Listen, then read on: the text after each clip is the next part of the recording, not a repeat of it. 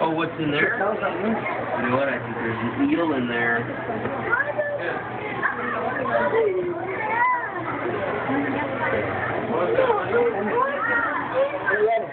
Why is he going slow?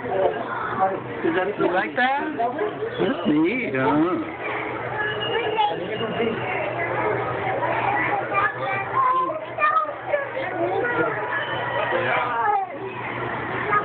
Rockfish.